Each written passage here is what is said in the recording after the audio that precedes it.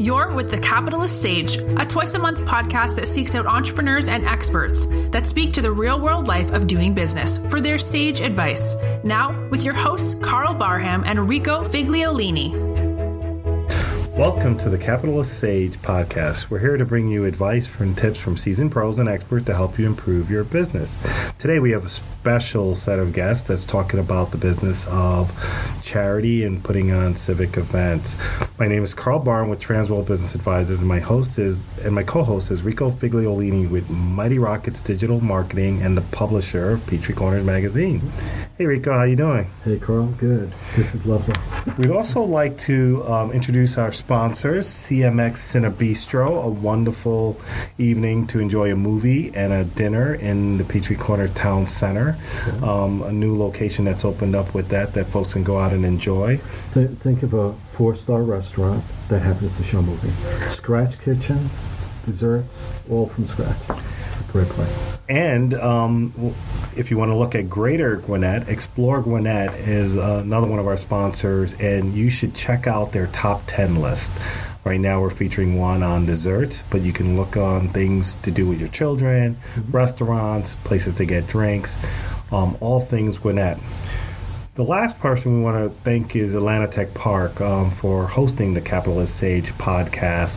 Um, if you're looking for a place to, to connect with other entrepreneurs and business people, Atlanta Tech Park is a great place to set your roots.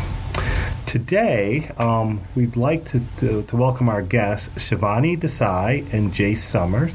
They're both um, part of the leadership team for Taste Gwinnett, um, a, a fantastic event that's put on every year, started in 2018, that helps bring the community together through food. So why don't I let um, Shivani introduce herself and then Jace? Well, once again, Karl and Rico, thank you for having us. It's always a pleasure. Um, I'm Shivani Desai, the CEO at Taste the Charity Inc., part of the founding team for the 2018 Taste of Gwinnett event, and I'm currently a sophomore at Peachtree Ridge High School. Um, and I am Jace Summers. I am a junior at the Gwinnett School of Math, Science, and Technology, and I'm acting as the Chief Financial Officer this year.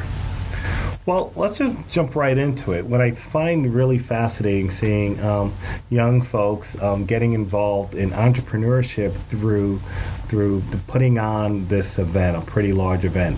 What make you th- think about getting involved in this and, and spending some time to put on such a fabulous event?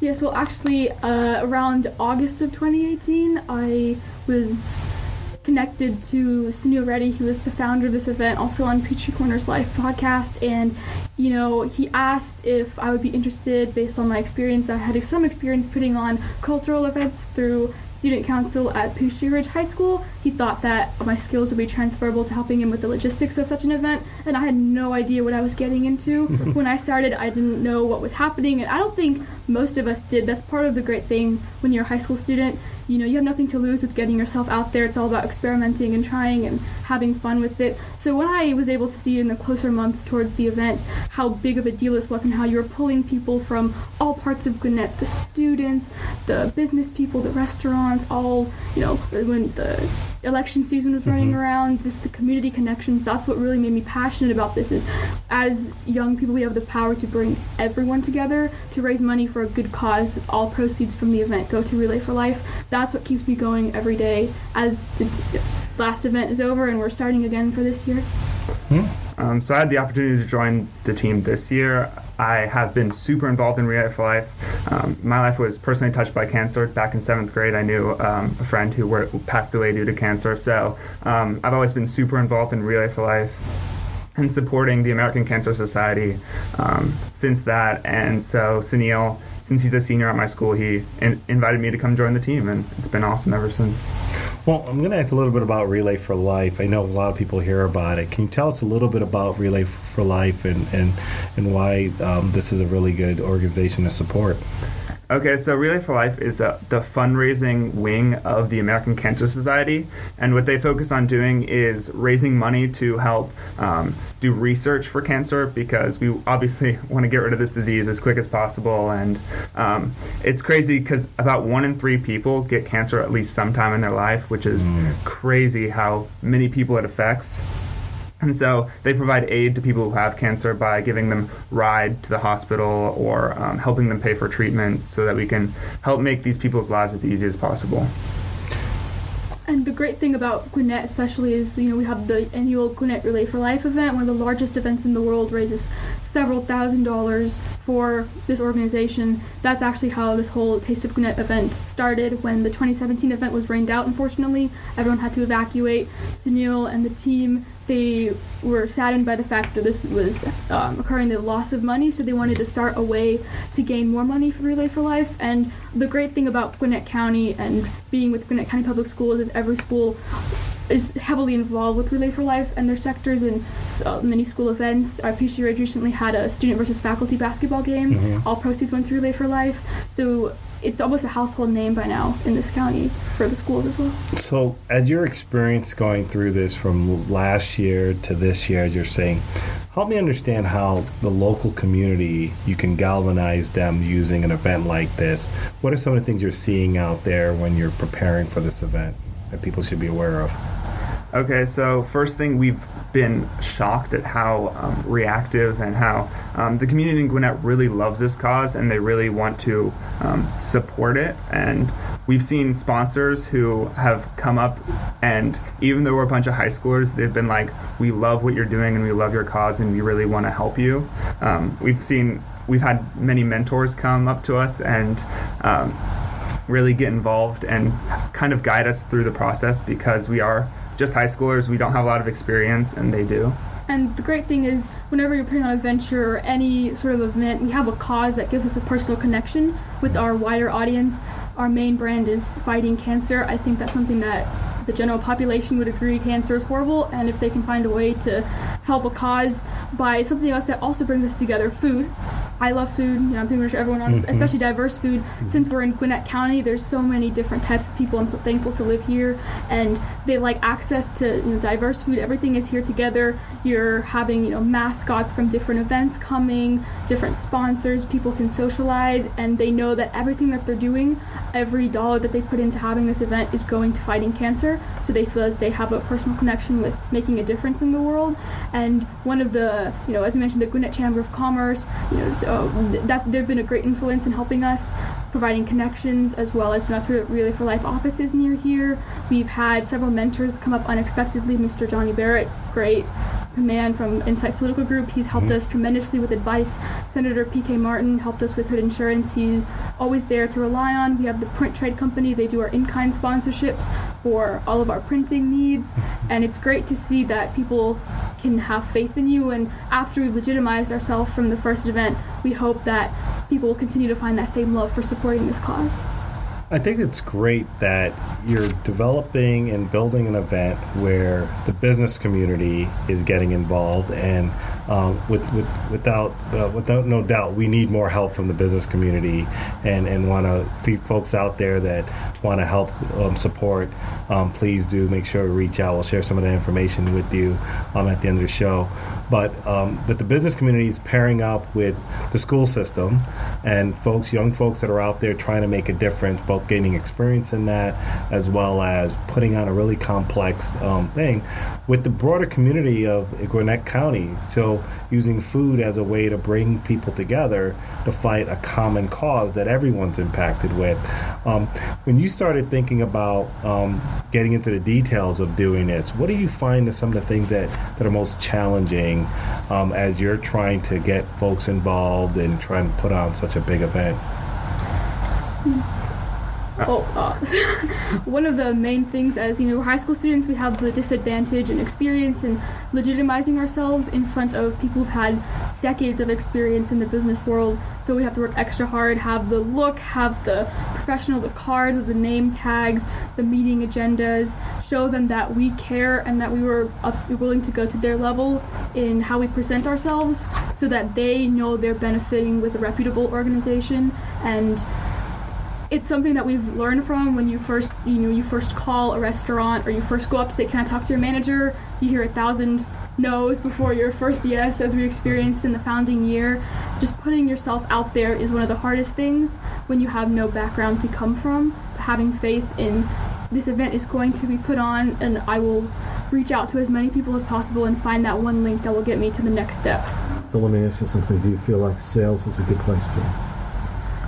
Yeah, I think you definitely need to sell it well because we are young and we have that disadvantage. You really need to um, over prepare and kind of learn how to brand yourselves and sell your idea to people Oh, what what was it? What was it like the first time you went out and started reaching out to restaurant? What was that experience like having those conversations? I remember I had to make my first call to a potential restaurant, and I was very nervous. I came back from a debate meeting and I was stressing out. So I didn't want to call. It's almost uh, what I've learned from the past team is you, the, you, can only benefit from calling and reaching out because you'll either gain a contact, you'll never lose anything. You'll get your name out there. And when I first called, and it was a, I was hung up on a couple times and finally transferred. And the first meeting that I ever went to, I was taking notes and eventually you start to feel that you have earned your place with the team and you learn how to sell the event well, especially with experience. The first sales meeting that you go to is never going to be as good as after practicing your pitch over and over again with mm-hmm. experience from seasoned seasoned veterans of the business industry and it's great that coming from you know school school is great and all but when you're out in the real world practicing these sorts of things it's the most valuable i could have you know even if i may not go into business i do want to pursue business and computer science and jace yeah. Yes. I definitely want to pursue business. Um, I found a love how this is very real world, very hands on. Um, school is very in the classroom and it's really important. Our mentor, Johnny Barrett, is always stressing the importance of um, going to school and getting an education, but there's a lot of stuff that you don't learn in school that you kind of um, need to try hands on, and I think this has really given us lots of experience in that. Well, I'll tell you from one thing, what you're doing is exactly what we start folks off that go into sales. I spent years working with people in sales, and you're doing the thing that if you think about in the future, most companies are looking for and, and, and looking for experienced salespeople. You're going to walk out of high school with the sales experience, being able to call in on restaurants and so on. Um, at first, it might be scary, but that practice that you're putting in is just going to be serve you so well as you go forward. So it's glad to hear that. I'm curious though. Um, you're using a, a a traditional method of reaching out to people through calls and phone. Tell me how you're able to use social media to, to, to bring people in and both communicate and hopefully get more sponsors and people supporting the event. But well, the great thing with social media, I personally made my first Facebook for Taste of Gwinnett. Never had experience with it before. Um, the great thing is, you know, geotagging, you're able to cater your business towards insights, especially with Instagram when they've rolled out their new Instagram insights for businesses, corporations. You can have your page show up and have any posts you want to promote with students, or not really students, but anyone in the area. Mm-hmm. That's how we've been able to get our name out there, as well as by word of mouth or even through LinkedIn posts when we meet with any corporate sponsor, business, or mentor the most the posts that get the most views are people who have the most experience in the county that we see. And you can see how many page visits you get how when you're struggling when you're not.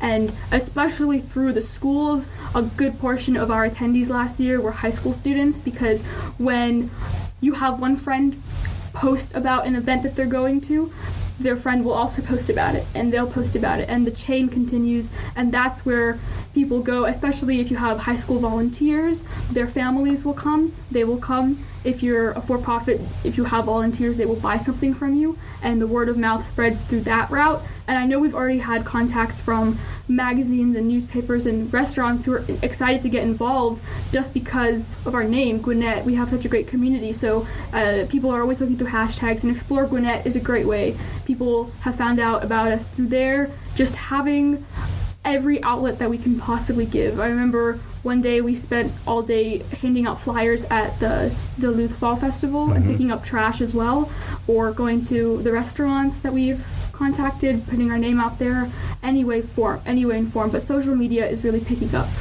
for what I can tell. Well, I can tell you, I'm already excited uh, about it. Um, let's mention just real quickly um, when is uh, Taste of Gwinnett so folks will know when to start preparing for that. So Taste of Gwinnett this year is going to be November 16th. Um, we're really excited for this date. Uh, many people originally, um, we weren't so keen about that because it's the same day as the Georgia Auburn football game.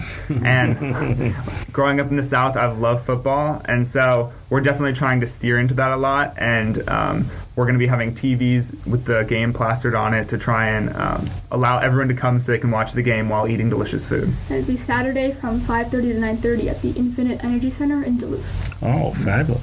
Well, you know, you, a lot of what you're talking about, which is amazing, is exact same advice we'd give. You're, you're, you've got a sales strategy, making calls and reaching out to people. You know more about social media than a lot of business owners that you might come across. Um, and it's interesting that do you find for, for your generation in class and your use of technology, is this making that part of this much easier for you to be able to promote on these different these different medias? Uh, yes, definitely. I mean, we've grown up in the technology era. We grew up with smartphones in our hands, so we've always been used to it. We've networked without even knowing it um, just since growing up. So it's been um, really useful getting to find an outlet to um, continue to a reason to um, continue to spread our name and we've definitely been using instagram facebook linkedin to reach out to people I think people underestimate the power of teens on phones for anything. Whenever uh, I know personally, uh, when people post, especially I say through Snapchat stories and Instagram stories about events that are going on, that's on my radar because my friends are going to that event. I, I'm interested in it. And when you have a good portion of the people in your school advertising an event, people, the flyers at our school almost blend together. They're hanging in the hallways. It's hard to make stuff stand out, but when you have your close group of you know community on social media posting about something, people don't un- people underestimate the impact that it has on whoever is viewing it, mm-hmm. especially in high school when you have events. And when you are able to draw in the high schools people it's almost the potluck of resources the i call them you know free laborers. We have high school students you know good good honest people who want they are ready to provide free labor honestly. Uh, you have the volunteer clubs beta club national honor society and they are always the whole purpose of these organizations is to provide volunteer hours in service. We had 30 to 40 volunteers from duluth high school help us at our event holding signs outside on the road hanging up banners setting up napkins and tables and they did it with such honor because they wanted to help and they had a purpose for helping so that saved us definitely lots of time and money and they bought into our event they donated to get food afterwards their mm-hmm. friends came to support them so having that network especially when people are physically helping you with the event ties into social media as well So at this stage here, you've got some months out. What are some of the biggest things that you're working on now to prepare for the event? What's what's some of your biggest areas of focus? So right now our primary focus is preparing for the May 10th Relay for Life event. So that event is again the largest in the world. It's the reason Taste of Gwinnett exists is because the event was rained out a few years ago. So we're really trying to show up to that and have a great present presence. Um, we've gotten T-shirts, we've gotten water bottles, pens. We really are going to hand them out, try and um, tell people about Taste of Gwinnett and what we've done last year, um, how we were able to stand up and raise thousands of dollars for Relay for Life as a first year event, and how this year we're looking to um, double, if not triple, the number of people we can get to come there. So um, we're really excited to show up with that. What date is uh, Relay for Life in May? friday may 10th May 10th. another we're trying to get as many sponsorships as possible now recently uh, taste of gwinnett is run under taste the charity inc uh, the same charity founded by our founding team sunil danny gideon james chelsea ryan we received our 501c3 status all of our donations are tax deductible and hopefully before the tax return comes you know we want to get as many sponsorships as possible for the event so we can mutually benefit from advertising and getting the money secure before we move into the event and last minute preparations for the logistics and the restaurants So the May 10th event is at the Gwinnett Fairgrounds, and it's from 6 p.m. to 6 a.m. on Saturday. So it's actually um, a full 12 hours, and it's a really fun event. Um, even if you're not going to come for Taste of Gwinnett, come for lots of other reasons because it's really supports the cause of Relay for Life and fighting cancer. Um, It's like a big family that just gets together. I mean, from what I understand, I've been there once, and it's just unbelievable. there's tons of food, tons of activities. It's awesome.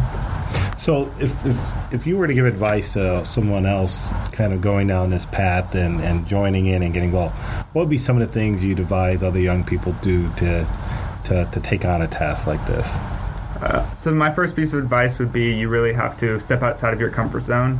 Um, it doesn't seem natural to just pick up a phone and start calling owners of businesses and um, trying to sell your idea, but that's kind of how you um, get that's how you get started. You have to pick up a phone and start calling people or going and meeting people. It's um, it takes a lot of courage and consistency. Like um, you have to be very driven to do it, but um, if you do, it can turn out amazingly. And finding that team to support you. We have a group of six high school students doing this right now. Uh, me, Jace Summers, Isabel McHenry, David Lee, Katie Kim, Kyle Zulaga, all of us. We have each other to depend on, and we have the tasks divided up. And I know since we have the second year event, we have a proper end goal in mind, but I know last year when I was on the founding team, we had to know exactly where we were going and the timeline. And as you want to build up a net like community base, you know most high school students don't have the resources or the connections that we had, but we only gained them through stepping out of our comfort zone and calling people. You know, we never would have had um, Senator Rob Woodall attend our event if we hadn't picked up that phone because there's no way we would have done that if we were just a high school students saying, "Come to my event." You know what's funny to me? I, I have Mike. I have three kids. So two of them are graduating. Well, one of them is graduating tomorrow. The other one graduated in December. But um, I'll look at my cell phone bill, and I'll see all text messages. I can, see thousands of text messages going out, but I see maybe five minutes of talk time.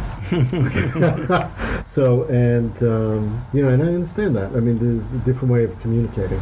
Because even uh, my younger kid is on uh, plays Call of Duty. He's on uh, a lot of different. Um, he's using Discord. He's using uh, Twitch. Twitch, I think. Yeah. Um, so he's he's online. He's socializing. It's a different way of socializing. Totally Mhm. different. You know, when I say, "Why don't you go meet your friends?" I'm like, "What, what are you talking about? They're on. I'm on Discord. I'm already chatting with them." So yeah, very different from from what they uh, from what we used to do, obviously. So that social media binge, I can see that, and it is, I think, for a lot of kids to get out from that texting to actually pick up a phone Yeah. to do that. It's, a, it's, a, It's- learning a skill set that might have been lost for a while. Um, Yes. But you know, one of the things that made me think, and you mentioned it when you said the team that you have of six folks. Um, just imagine if you look at all of the, the, the students in the high schools whose parents own restaurants, if they were to go approach their parents to support, how many restaurants could have done? I mean, you can reach out just to the community. They own businesses. They, they're, they're, we're all in the same community. We go to the same schools, and uh, galvanizing that group of folks within the schools to go reach out to their parents to be to be part of this event might be a powerful way, and that expands your team and how many people can get out. And along the way, you know, you can't get a better person than than, than you know someone asking mom and dad to support this for a good cause. It's it, it, it might be an easy easy sell for those. But I want to thank you both for, for coming out today and and and spending time, um, you know, talking about this really important event, Taste of Gwinnett and Relay for Life, and the cause that you're that you're promoting for this. Well, um, Jace, I, I know as you as you go forward in this this year, your first year, I'd love to chat with you some more as you go through this um, and and get more learnings along the way. And um, Shivani, I think you this is your second year, so you're going to get a, a, um, um, a different experience of it, but also being you know in the leadership role, it's just a great experience for both of you.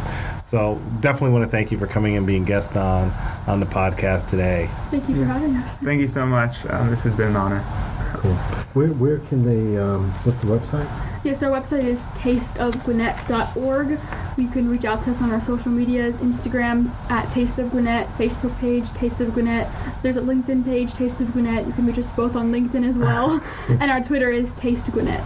And so if you're listening to this podcast, you own a restaurant, catering place, these are the two you need to contact. And uh, it's Absolutely. We're, we're calling out all restaurants in Gwinnett County to come out and support.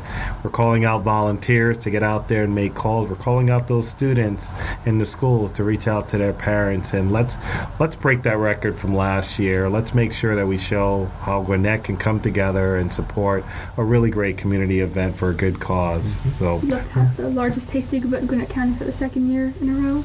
ab- absolutely. Let's do it. Sounds good. Well, we'd also like to thank um, our sponsors, Atlanta Tech Park, a great place to come and and, and be around other entrepreneurs and business owners. Um, to, if, you, if you're looking for a place to, to call home for your business, um, we also want to thank CMX Cinebistro. Um, wonderful um, date night or event night for folks that want to go out and enjoy a movie and a great dinner. Um, and we also want to thank Explore Gwinnett. As, as you can see, the theme throughout today's podcast is how Gwinnett can come together to do great things. And there's a lot of wonderful places in Gwinnett. So we've got some top 10 lists that are available to you online at PeachtreeCornersLife.com. Or, or better yet, livinginpeachtreecorners.com. LivingInPeachtreeCorners.com. Although both sides are fine. Um, but um, yeah, definitely check out um, um, all of those sponsors and just want to say thank you um, again for coming out. I'm Karl Barham with Transworld Business Advisors of Atlanta Peachtree. Yeah, we help business owners, and I know as I'm going out there and talking with business owners, I'm definitely going to help promote and get you some more sp- sponsors. But if you if you need a consult on, on growing your business through acquisitions or divesting your business to do what's next, um, Transworld of Atlanta Peachtree can help you. Can be reached at kbarm at tworld.com. And Rico, Sure. Rico Figliolini. I'm host of, co-host with Karl here, who really does the heavy list, lifting in the Capitalist Sage, this podcast. Uh, but it's a family podcast, so we do Peachtree Corners Life, uh, the Ed Hour, with my co-host Alan Kaplan, and we do um, Prime Lunchtime with the City Manager once a month also. So we get to talk about city issues after the fourth Tuesday of the month. That's kind of neat. I'm a bit of a jack of all trades. I do social media marketing, creative. I'm a creative director as well, so graphic services. And lately, I've been publishing Peachtree Corners magazine. So I'll put this out there uh, four times a year originally, and now we've expanded to six times a year because it's just been so received, thankfully. And I think that it's hopefully a good product and people are enjoying it. So cool. Yep. That's what I do. well, thank you everybody. Um, thank you for joining us on the Capitalist Sage podcast. Have a good day. This has been the Capitalist Sage with Karl Barham and Rico Figliolini, the twice a month podcast with entrepreneurs and business experts. We hope you enjoyed this episode. Want more? Visit our website at capitalistsagepodcast.com.